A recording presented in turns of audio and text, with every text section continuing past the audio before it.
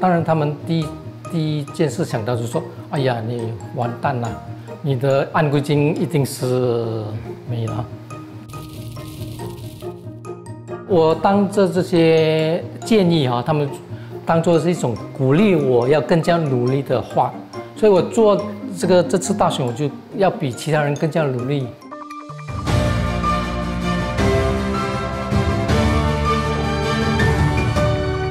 首先，我相信我我要加入 PAP，他们不会接受我了，因为他们要年轻的人嘛哈。第二，我跟斯巴蒂呃工人党跟呃最近的什么前进党是吗？他们如果我要加入的话，我首先要去服务，对吗？我去服务，他们才看得出我这个人到底是真诚的，是能够为民服务的一个呃可能性候选人。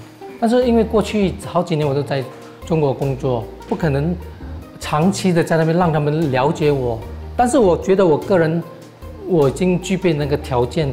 我曾经在 NTU 住过两年了，大学的时候。住过两年，所以我对那带是相当了解的啦。而且因为这个先驱的呃人民的居民的 demographic 那个人口结构哈，是是相当是简单，相对于比如说呃拉丁马氏啊或者牛车水，他们比较很多老人家要特别的照顾，懂吗？所以那那个呃议员的专注力要要分散的很多很多很多不一样的需求。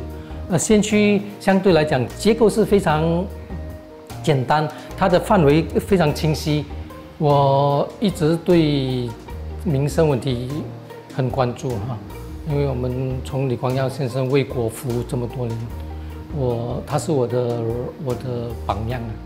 所以我我从二零零四年开始就一直向呃《海峡时报》跟《赌队》啊，呃。寄那个电邮跟那个信，大概五百五十封了。其中《海峡时报》共有他们记录大概是五十来封，呃，被刊登。鲁德也有，也我如果计算下不错，是呃计算可能有十来封。啊，这个课题一般都是从民生，或者到国家，或者到对政治问题的一些建议跟意见。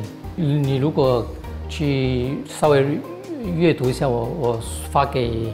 选民的那个竞选宣言，还有去脸书看一下我的背景，跟所有的人对我的见证，他们都说我是诚实的好人，而且工作能力是有目共睹的啦。不然我我怎么成为这个 DSDA 这国国防科技局呃呃的两个直升机的项目经理？那到今天国庆日你就看到。飞的两两个拿着那个国旗，都是我是当年是由我替国防部购买的嘛，所以我的能力是有一定的啦。虽然我说不会，呃呃，会不会担心？当然有一点，但是但是你知道你在做什么哈？我再分析一下，我们虽然三角站哈，我们三个人都是出道归地呀，都是先驱的新人呐，每个人都有同等的机会。对吗？我父亲很早就过世了，所以由我妈一个人含辛茹苦的带大，一共九个兄弟姐妹，哦，所以小时候食物来的非常辛苦啊。我就是从饥饿中长大的，所以你如果我我不是饥饿的话，我今天可能身材会比较高大一点嘛。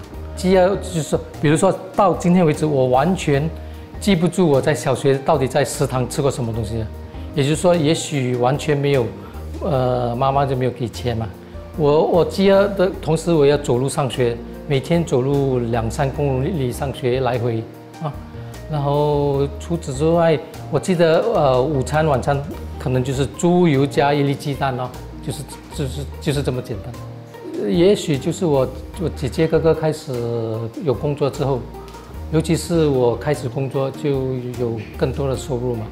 就开始生活会越来越好了，大概二十五到三十岁就情况改变了很多。